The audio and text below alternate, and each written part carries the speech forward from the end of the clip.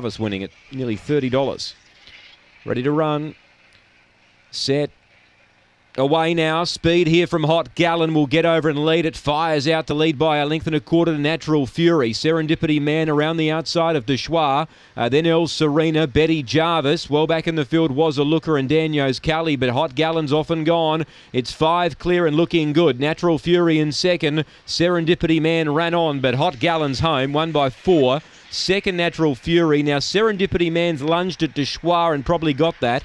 Uh, behind those was a looker. Next in was Betty Jarvis, El Serena, and Daniels Kelly back at the rear. 22.57 was the run. Hot Gallon too quick. Steve Mamitas, the winning trainer.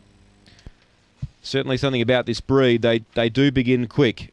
Hot Gallon, the uh, Glen Gallon surfing blonde bred, and uh, fired out of the boxes to lead throughout. Three second, Natural Fury, and five gets third, Serendipity Man. Two gets fourth, the Schwa. It's four, three, five, and two.